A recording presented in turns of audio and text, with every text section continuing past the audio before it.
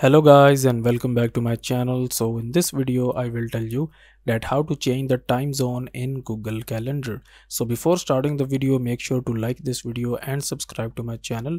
So first of all you need to open up google calendar and then you need to tap on this settings menu option and then tap on settings here and then at the uh, left hand side under this general tab here. You can see all of these different options.